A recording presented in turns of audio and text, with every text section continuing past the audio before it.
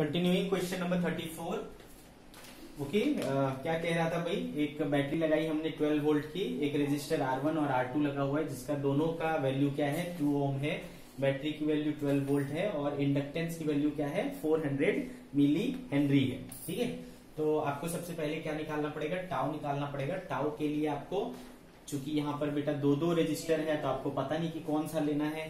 ठीक है? तो ऐसे कंडीशन में आपको क्या निकालना होता है? आर इक्विवेलेंट निकालना होता है। आर इक्विवेलेंट निकालने का क्या तरीका होता है बेटा?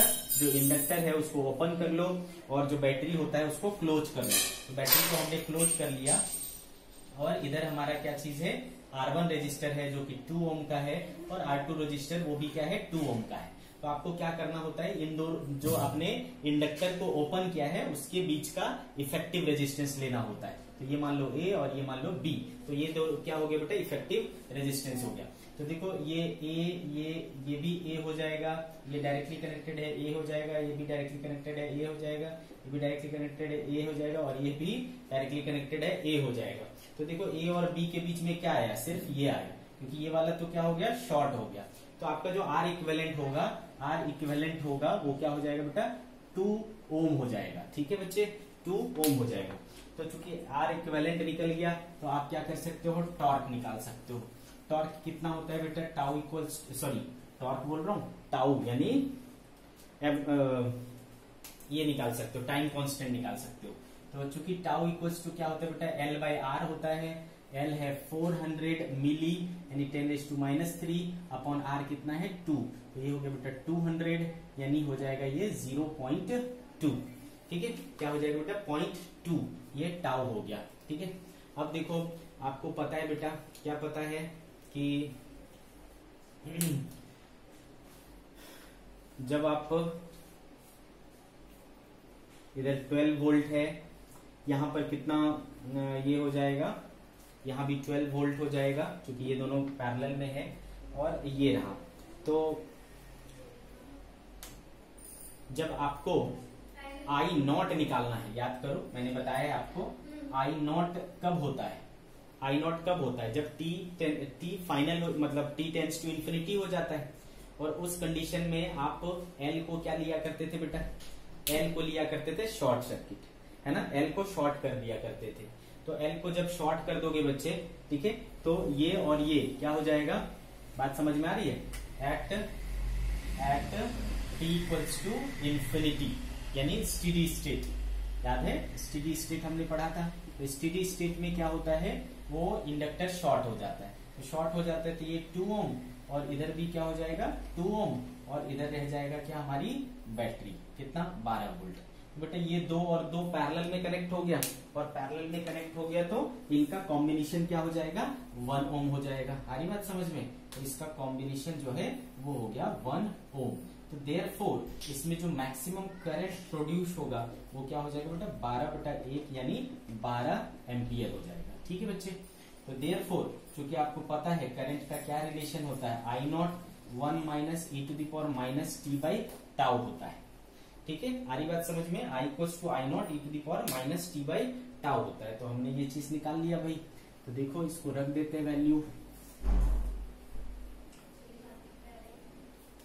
तो देयर फोर चलो इक्वेशन लाते हैं I equals to I naught हमारे पास क्या आ गया? बारह आ गया। तो बारह into one minus E to the power minus T T by tau tau कितना आया था अपने पास? 0.2 क्या चाहिए था बेटा? 0.2 बट आपको चाहिए क्या? आपको क्या चाहिए? आपको करंट तो मिल गया, लेकिन आपको क्या चाहिए बच्चे? कि potential drop across L as a function of time inductor inductor में करंट uh, हमें मिल गया. इंडक्टर में करंट मिल गया. अब हमें उसका वोल्टेज चाहिए. तो चूँकि आपको पता है बेटा कि ईएमएफ जो होता है इंडक्टर में वो क्या होता है? L D I by D T होता है. होता है कि नहीं? L D I by D T तो एल आपके पास कितना है?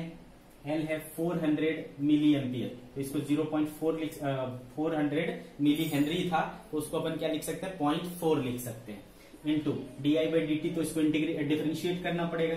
तो 12 वन का क्या हो गया बेटा? Zero minus E to the power minus T by tau यानी ज़ीरो पॉइंट टू रहेगा। टू क्या हो जाएगा बेटा? Minus one by zero point two ये माइनस ये माइनस प्लस हो गया। तो बचा क्या? Zero point four twelve zero point two E to the power minus T by zero point two इसको ले जाओगे दस, दो से पाँच। ठीक है? तो ये और ये कैंसिल हो गया बेटा टू टू जा फोर ट्वेल्व टू जा क्या हो जा रहा है? ट्वेंटी फोर हो जा रहा है। E to the power minus five T E to the power minus five T कुछ गड़बड़ किया मैंने। L D I by D T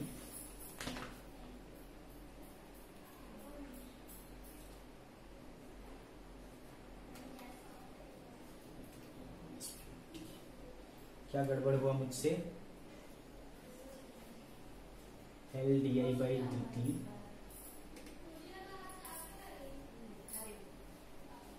EMF चाहिए था? क्या चाहिए? हाँ ईएमएफ चाहिए। Potential drop across L four hundred two V by R push sorry मैंने गड़बड़ किया ना? हाँ एक्चुअली हमने क्या गड़बड़ किया बच्चे? कि यहाँ पर, है ना यहाँ से टोटल करंट कितना निकला? I equals to twelve ampere फिर ये क्या होगा बेटा? बचे, बटेगा। इधर जाएगा क्या? सिक्स एम्पियर और इधर क्या जाएगा? सिक्स एम्पियर तो जो इंडक्टर वाला ब्रांच था, ये आउटर ब्रांच उसमें सिक्स एम्पियर गया ना? ठीक है? तो उसमें फाइनली जो आपका जाएगा, ये क्या हो जाएगा बच्चे? सिक्स हो जाएगा। तो six into one minus into to the power minus T by zero point two, ठीक है, ऐसा हो जाएगा। तो ये आपका सिक्स आएगा बच्चे। सिक्स ये भी क्या हो जाएगा आपका? सिक्स हो जाएगा। तो देखो सिक्स टू जाए, क्या आएगा आपका? ट्वेल्व तो फाइनली आपका आंसर आएगा। E equals to twelve E to the power minus five T क्या आएगा बच्चे? Twelve into E to the power minus five T कौन सा आ रहा है आपका? Option number D so the correct answer is option number D okay correct answer is option number D now C 34 के बाद आपका क्या है? Question number 35 the maximum current अच्छा। ये एक्चुअली एलसी सर्किट का है एलसी ऑसिलेशन ठीक है बच्चे? ये हम जो एसी सर्किट पढ़ रहे हैं एसी में आपका आने वाला टॉपिक है एलसी ये uh, कई बार हम लोग इसको इंडक्शन uh, में भी पढ़ाते हैं और कई बार हम लोग इसको इसमें भी बढ़ाते हैं। क्या बोलते हैं? एसी में। तो हमने इसको एसी के लिए छोड़ रखा है तो एसी में हम लोग इसको पढ़ेंगे। उसके बाद आपको ये ऑटोमेटिक बन जाएगा। अंडरस्टूड ठीक है? वहाँ पर चल करके हमारे पास एक फॉर्मूला आएगा कि जो आई नॉट होता है, ठीक है? वहाँ पर हम, हमारे पास फॉर्मूला आएगा कि आई नॉट जो होता है वो क्यू नॉट इंटू ओमेगा होता है। ठीक है? आई नॉट बराबर क्या होता है? Q naught into omega question number thirty five के लिए बोल रहा हूँ, जिसमें क्या किया है? एक कैपेसिटर जो कि फुल्ली चार्ज है। ठीक है? कैपेसिटर जो फुल्ली चार्ज है, कितना से? कैपेसिटेंस कितना है इसका? 1.5 माइक्रोफेराड और कितने वोल्ट से चार्ज किया है? 60 वोल्ट से। तो इस पे चार्ज कितना आ जाएगा बेटा maximum Q equal to C B तो ये 1.5 पॉइंट फाइव इंटू सिक्सटी करोगे बेटा पंद्रह छक्के नब्बे। नाइन्टी माइक्रोकुलाम ऐसा इस पर चार्ज आ जाएगा। अंडरस्टूड 90 माइक्रोकुलाम इस पर चार्ज आ जाएगा। उसके बाद इसके अक्रॉस हमने क्या लगा दिया? इंडक्टर लगा दिया। एल लगा दिया। ठीक है? तो एल और सी ठीक है? दोनों चीज़ है इसमें। तो इस तरीके का सर्किट क्या कहलाता है? एलसी सर्किट कहलाता है। आगे चल करके हम लोग पढ़ेंगे इसको, ठीक है? तो जब इसमें ऐसा होता है तो ये ऑसिलेट करता है एनर्जी इसके और इसके बीच में। अभी अगर ना भी समझ में आए तो आगे आपको समझ में आएगा तो डोंट वरी ठीक है? तो आपको बोलता है कि the maximum current in this coil shall be close to ठीक है? तो इसमें जो है ऑसिलेशन होता है। चार्ज इसके और इसके बीच में ऑसिलेट करता है कर, आ, एनर्जी इसके बीच में ऑसिलेट करता है। तो, तो जब भी ऑसिलेशन की बात होगी तो फ्रीक्वेंसी की बात होगी और वो फ्रीक्वेंसी एंगुलर फ्रीक्वेंसी होती है बेटा one by root L C ठीक है? तो आपको एल दिया हुआ है है ना? एल की वैल्यू दी हुई है कितनी? Fifteen milli henry milli henry और सी का वैल्यू दिया हुआ है देखो 1.5 माइक्रो फेराड आप इसको यहाँ पर रखोगे वन बाय रूट एल हो गया आपके पास 15 into ten raise to minus three और सी हो गया बेटा 1.5 point five into ten raise to minus six ठीक है बेटा? तो ये देखो 15 इससे क्या बाहर आ जाएगा? देर फोर ओमेगा इक्वल्स टू इनसे बाहर आ जाएगा वन बाई फिफ्टीन और ये हो जाएगा छह, तीन, नौ और एक, दस। में से ten raise to minus five ऐसा बाहर आ जाएगा ओमेगा की वैल्यू ठीक है? तो मैंने क्या बोला बेटा? आई नॉट इक्वल्स टू क्या होता है? क्यू नॉट इंटू ओमेगा होता है। क्यू नॉट देखो, आपको यहाँ मिल चुका है 90 माइक्रो, यानी ten raise to minus six और ओमेगा देखो कितना आया 15 into ten raise to minus five तो ये माइनस वन हो जाएगा, पंद्रह छक्की नब्बे हो जाएगा तो ये आएगा 0.6 एम्पियर 0.6 एम्पियर ठीक है? ये हम लोग नेक्स्ट टॉपिक पढ़ने वाले हैं अपने अल्टरनेटिंग सर्किट में understood so don't worry 35 next is question number 38 next is question number 38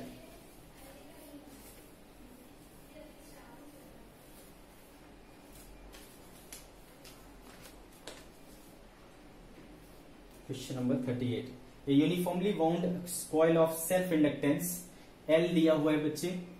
1.2 point two into ten raise to minus four and resistance three ohm resistance क्या है बेटा? थ्री ओम है.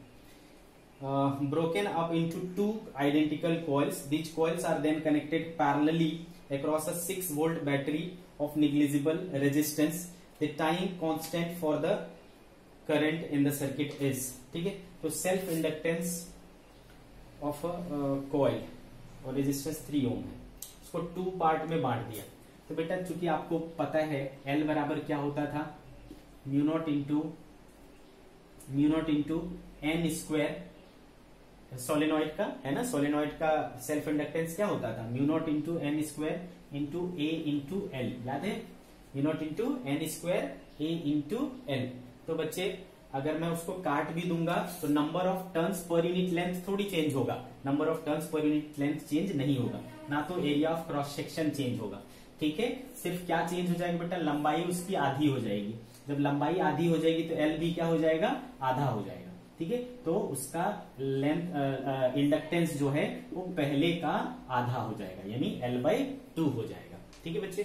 तो दोनों जो उसका पार्ट बनेगा, एक का L1 और दूसरा L2 दोनों इक्वल टू क्या हो जाएगा? L बाई टू और जैसा कि आपको पता है बेटा, R इक्वल टू क्या होता है? Rho L by A therefore R भी क्या होता है? डायरेक्टली प्रोपोर्शनल टू लेंथ होता है। तो जब लेंथ आधी होगी तो रेजिस्टेंस भी क्या हो जाएगा बेटा?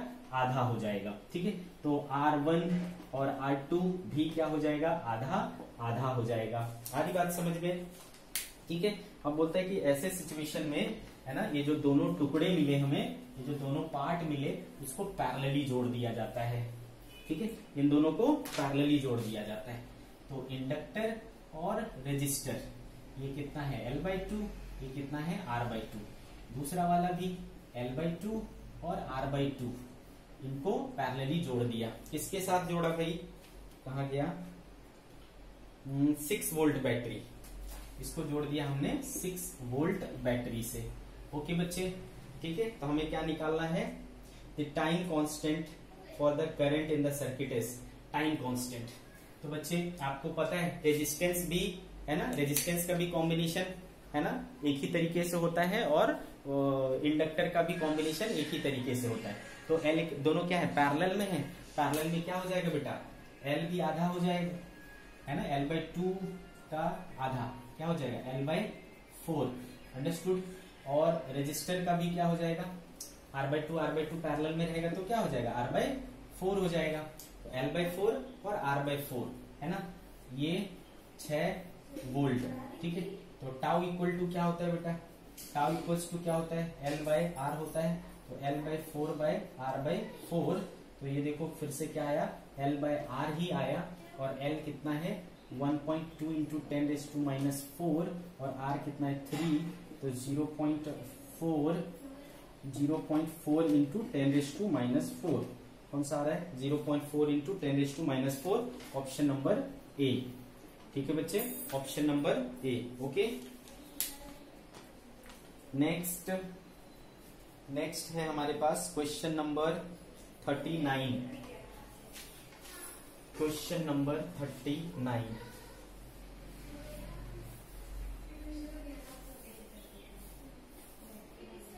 question number thirty nine ठीक है? क्या बोल रहे हैं बच्चे? कि भाई इसमें बेसिकली आप इसको क्या कर लो, दो पार्ट बना लो, दो अलग अलग पार्ट है ना? एक जो है इधर बैटरी ईएमएफ पैदा करेगा और इधर कंज्यूम होगा। अब आपको इधर का जो सर्किट दिख रहा है, इस तरीके का, ठीक है? ये वाला जो सर्किट दिख रहा है तो आपको पता है बच्चे कि ये तीन ये तीन ये तीन और ये तीन और ये तीन, है ना? और इधर क्या होगा, आपको बैटरी मिलेगा। मतलब इनका ईएमएफ इंड्यूस होगा। ईएमएफ कितना इंड्यूस होगा तो आपको पता है B into L into V है ना? आपको पता ही है ईएमएफ कितना इंड्यूस होगा। तो बी कितना है बच्चे अपने पास? बी है टू लेंथ कितना है? टेन सेंटीमीटर यानी ज़ीरो पॉइंट वन और स्पीड स्पीड अपने को पता करना है। तो ये कितना हो गया बेटा? ज़ीरो पॉइंट टू वी इतना ईएमएफ इंड्यूस हुआ। और बोलता है कि speed of the loop so as to have a steady current of one milliampere बोलता है इसमें करंट कितना बह रहा है? वन मिली एम्पियर हरी बात समझ में? इसमें कितना ईएमएफ करंट इंड्यूस हो रहा है? वन मिली एम्पियर तो बच्चे, ये देखो, इसको दिख करके हमें लग रहा है कि ये क्या है?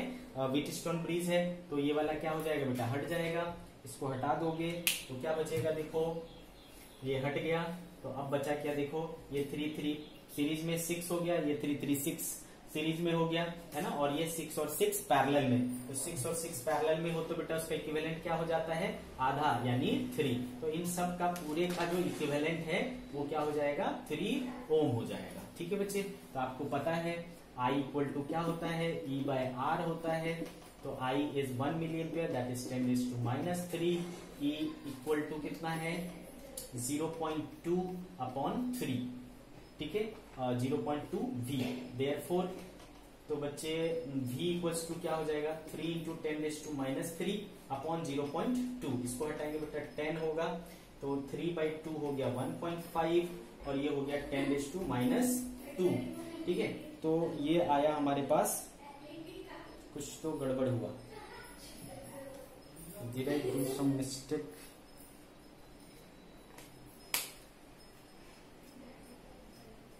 कुछ गलती की मैंने? Zero point two by three. Three three six और सिक्स सिक्स। अच्छा एक चीज़ मैंने मिस किया। यहाँ पर ये जो इस वा, ये वाला पार्ट है इसका भी रेजिस्टेंस गिवन है ना? इधर का एक वन ओम इधर का भी लेना है। ठीक है? तो वन ओम लूँगा बेटा तो थ्री और वो वन क्या हो जाएगा? फोर हो जाएगा। ठीक है? तो यहाँ पर आपको फोर लेना पड़ेगा। सो दिस बिकम्स फोर तो फोर हो जाएगा तो बेटा ये हो जाएगा आपका टू ठीक है? तो two into ten raise to minus two metre per second तो आंसर है आपका बी क्लियर है बच्चे? आ रही बात समझ में? ये जो इधर का फ्रेम था, उसका भी वन ओम था तो वो भी उसमें इंक्लूड हो जाएगा। तो answer is zero two into ten raise to minus two metre per second ये हो गया आपका, कौन सा? थर्टी नाइन नेक्स्ट है बेटा फोर्टी नेक्स्ट है क्वेश्चन नंबर फोर्टी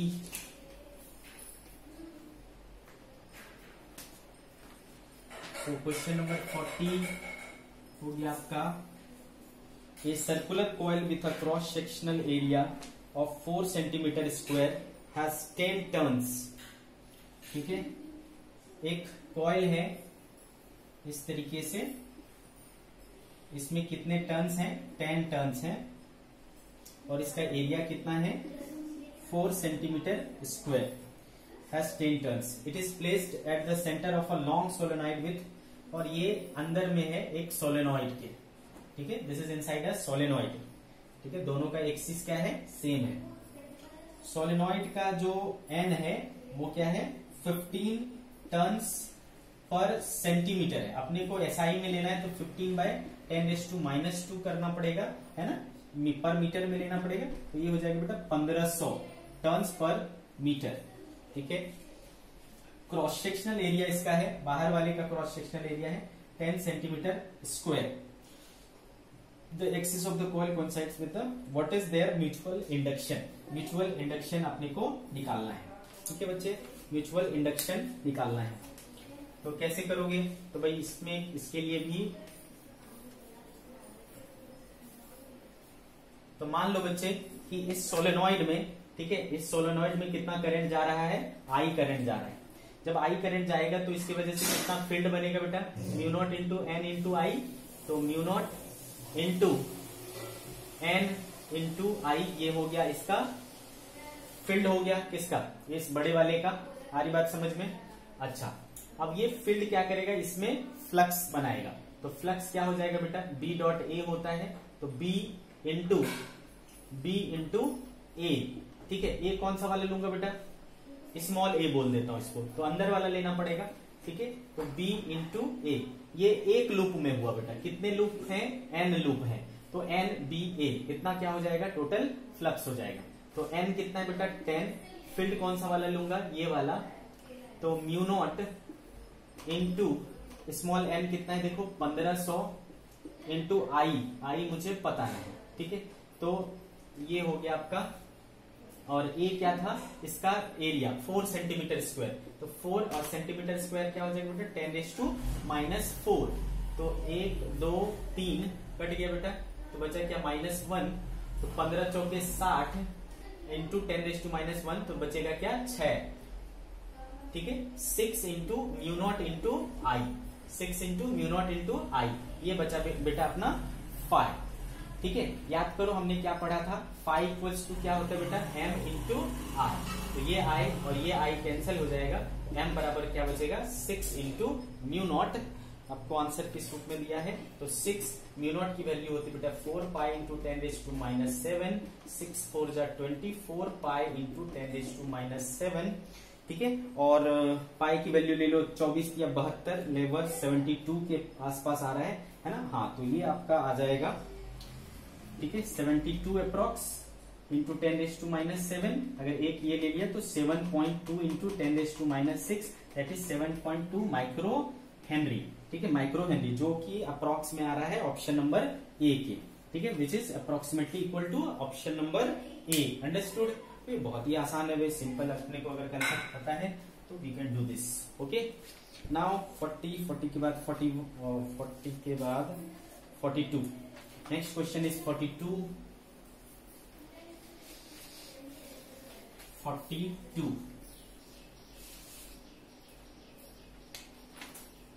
क्वेश्चन 42 देखो क्या दिया हुआ है? आपको एक फ्रेम बनाया हुआ है और ये फ्रेम में एक ऐसा रॉड लगा हुआ है जो नीचे जा रहा है कांस्टेंट वेलोसिटी v से। ठीक है बच्चे? और यहाँ पर क्रॉस फ़ील्ड है B a long conducting wire A H is moved over a conducting triangular wire of C D E with a constant velocity V in a uniform magnetic field directed into the plane of the paper resistance per unit length of each wire is rho then a constant clockwise ठीक है बच्चे? तो तो तो। जैसे जैसे ये नीचे आएगा बच्चे, जैसे जैसे ये नीचे आएगा तो एरिया बढ़ेगा कि घटेगा? तो ऑब्वियसली एरिया बढ़ेगा। एरिया बढ़ेगा तो फ्लक्स बढ़ेगा और फ्लक्स बढ़ेगा तो इसमें करंट ऐसा इंड्यूस होना चाहिए जो उस फ्लक्स को घटाए। तो वो फ्लक्स कैसे घटा सकता है? उसके फ़ील्ड को अपोज करके। तो बेटा इसका फ़ील्ड अंदर है तो इसका फ़ील्ड क्या बनना चाहिए? बाहर की तरफ़। तो इसमें करंट का डायरेक्शन क्या होना चाहिए? एंटी क्लॉक ठीक है? तो ए सी डब्ल्यू है ना? एंटी क्लॉकवाइज करंट बहना चाहिए। अंडरस्टूड अब बोल रहा है कि एंटी क्लॉकवाइज में देखो कौन कौन से ऑप्शन है? बी सी डी तीनों एंटी क्लॉकवाइज में है। अब इंक्रीजिंग नेचर का बनना चाहिए या डिक्रीजिंग नेचर का बनना चाहिए? अब ये सवाल उठता है। तो बेटा, आप देखोगे कि चूँकि ये कांस्टेंट स्पीड से नीचे जा रहा है तो एरिया भी क्या होगा? कांस्टेंट स्पीड से बढ़ेगा। है ना बेटा? ठीक है? तो ईएमएफ जो डेवलप होगा, वो भी एक कांस्टेंट नेचर का डेवलप होगा और करंट जो इंड्यूस होगा, वो भी कांस्टेंट नेचर का डेवलप होगा। तो आंसर हो जाना चाहिए आपका इसका ऑप्शन नंबर डी ठीक है? Option number D next is question number forty three next is question number forty three okay बच्चे? See question number forty three okay यहाँ पर क्या है भाई? टू आइडेंटिकल कंडक्टिंग रिंग्स ये इस तरीके का और ये दूसरा। ठीक है, ये दोनों रिंग, ये ए इधर जा रहा है और दोनों के इसकी स्पीड v है और ये इधर जा रहा है विथ स्पीड v ठीक है, ये। तो मान लो बच्चे, ये पॉइंट मैंने क्या बोला? ओ बोला। इस पॉइंट को भी क्या बोल रहा हूँ? ओ बोल रहा हूँ। और इस पॉइंट को क्या बोल रहा हूँ? ए बोल रहा हूँ। और इस पॉइंट को क्या बोल रहा हूँ? बी बोल रहा हूँ। तो जैसा कि आपको बताया था बेटा कि रिंग अगर ये करे, है ना तो वो कैसे ट्रीट किया जाता है? लाइक लाइक अ रॉड है ना? तो और डायरेक्शन कैसे निकालू? ये मोशनल ईएमएफ का केस है। तो मोशनल ईएमएफ क्या होता था बेटा? B into L into V होता था, ठीक है? तो magnetic field B length L sorry length कितना लूँगा बेटा? तो लेंथ कौन सा लिया करते थे हम लोग? है ना? ये वाला लेंथ लिया करते थे, कितना हो जाएगा? टू आर हो जाएगा तो टू आर इंटू वी तो टू बी आर वी हो गया बेटा। अच्छा अब दूसरी चीज़ है डायरेक्शन कैसे निकाला करते थे ये? देखो फ़ील्ड किधर है इसमें? फ़ील्ड बोल रहा है horizontal conducting plane with the same constant magnetic field is present into the plane of paper तो फ़ील्ड जो है वो इनटू है। तो देखो बेटा, इससे हम डायरेक्शन पता कर सकते हैं। अंदर की तरफ़ रख लिया मोशन की तरफ़ रख लिया। तो ये किधर आया, है ना? तो ये वाला क्या हुआ बेटा? हाई पोटेंशियल पर हुआ। तो वीओ माइनस वी ए ये आ गया two B R V two B R V equation number one similarly इसमें करेंगे बच्चे, इसमें करेंगे तो क्या हो जाएगा? देखो मोशन इस तरफ़ हो रहा है है ना? फ़ील्ड अंदर है तो देखो, ऊपर की तरफ़ आया मतलब ये हायर पोटेंशियल पर होगा। That means V B minus V O ठीक है? वीबी माइनस वीओ इस बार कितना हो जाएगा? Two B R V equation number two आपको क्या चाहिए बेटा? आपको चाहिए वी ए माइनस बीबी चाहिए, है ना? आपको क्या चाहिए? दोनों टॉप पॉइंट्स का potential difference between the highest point of the two rings ये और ये के बीच का पोटेंशियल डिफरेंस चाहिए। V A minus B B चाहिए। तो इनको माइनस इनको कर लो, ठीक है? इनको माइनस इनको कर लो। तो इक्वेशन टू माइनस वन करते हैं। तो वी बी माइनस वीओ नहीं आप इसको कर लो सिंपली ऐड कर लो, ठीक है? इनको ऐड कर लोगे तो बेटा ये गायब हो जाएगा। क्या बचेगा? वीबी माइनस बी ए है ना? V B minus B A equal to क्या हो जाएगा बेटा? फोर बी आर वी ठीक है? कितना हो जाएगा? फोर बी आर वी कौन सा हो जा रहा है बेटा? ऑप्शन नंबर सी आ जा रहा है। ठीक है? कौन सा आ जा रहा है? सी आ जा रहा है। ठीक है? Next question question number forty four next question is question number forty four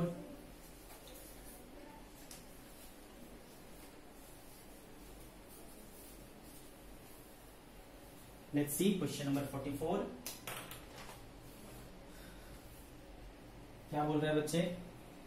Two concentric and coplanar coils having radii A and B तो एक अंदर में है और एक बाहर में है। इसका ए है, इसका बी है। ठीक है? बोला जा रहा है कि current in the outer coil is increase from zero to I इसमें करंट जो है ज़ीरो से लेकर के आई तक बढ़ाया जाता है। ज़ीरो से लेकर के आई तक इंक्रीज किया जाता है। Then the total charge circulating the inner coil is और इनर कॉइल का रेजिस्टेंस कितना है? आर है। आपको क्या निकालना है? टोटल चार्ज तो आपको जैसा कि पता है बेटा D Q equals to D phi by R होता है। आज ही सीखा था। मतलब सीखे हुए हैं। आज कई बार ये यूज़ हुआ। D Q equals to D phi by R ठीक है बच्चे? तो अपने को डी क्यू चाहिए। तो उसके लिए क्या निकालना पड़ेगा? डी फाइव निकालना पड़ेगा। चलो मान लो बेटा इसमें करंट आई होता तो इसमें कितना फ़ील्ड बनता बेटा? डी इक्वल्स टू एक रिंग की वजह से फ़ील्ड क्या होता था? सर्कुलर करंट कैरिंग लूप की वजह से फ़ील्ड हुआ करता था mu naught I by two R होता था। ठीक है? तो इसका रेडियस क्या है? बी है। तो mu naught I by two B हो जाएगा। ठीक है? तो फ्लक्स क्या होता है बेटा? फ्लक्स होता है फ़ील्ड इंटू एरिया तो mu naught into I by two B into इसका एरिया क्या हो जाएगा बेटा? पाई ए स्क्वायर ठीक है? तो ये हो गया आपका फ्लक्स तो बेटा इनिशियली फ्लक्स क्या होगा? जब करंट ज़ीरो रहा होगा तो आई ज़ीरो आई ज़ीरो तो ये भी क्या हो जाएगा? Zero to five I is zero to five final क्या हो जाएगा बेटा? फाइव फाइनल जब करंट आई हो जाएगा तो फाइव फाइनल हो गया mu naught I pi A square by two B ये फाइनल हो गया। तो चेंज क्या है? This minus this this is mu naught I pi A square by two B और इंटू आर तो ये कौन सा हो जा रहा है बेटा? देखो mu naught I A square by mu naught I A square by two R B mu naught I R square mu naught I A square by two R B पाए नहीं आया। Mu naught I B by two pi R कुछ तो missing है। Mu naught I A B A B तो नहीं होगा। Square mu naught I A square. कुछ तो गड़बड़ है। ठीक है ऑप्शन शायद में भी गलत हो सकता है। ठीक है बच्चे तो एक बार देख लेना इसको। आई थिंक इसका क्या होना चाहिए? फ़र्स्ट होना चाहिए। आई ए बी तो नहीं हो सकता। टू आर बी फ़र्स्ट होना चाहिए। पाई मिसिंग है। ओके बच्चे ठीक है तो आज आ, आज का डिस्कशन समाप्त होता है।